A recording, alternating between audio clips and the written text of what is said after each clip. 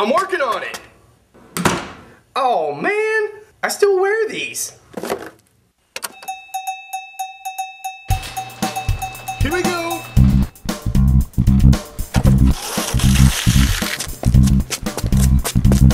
Oh yeah.